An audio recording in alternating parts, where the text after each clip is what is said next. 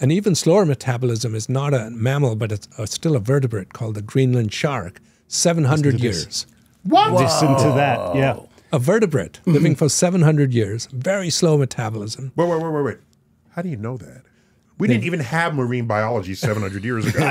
so, how, how do you, They, they can do things like carbon dating and Okay. they look They at the cut one tissues open, it was so with on, 700 rings inside. And your Galapagos And there are actually other there. animals that are thought not to even age biologically. What's the immortal like jellyfish? the hydra and the immortal jellyfish. These things wait, there's have an actual animal called the Hydra? Yes, that's right. Awesome. Not just in, in Not just in, GI Joe. No, in- oh, oh, no, Marvel. No, no, no. In in in, In Greek mythology. legends, in Yeah, mythology. oh, exactly. you mean the real Hydra? Yes. Oh yeah. This is a freshwater small animal.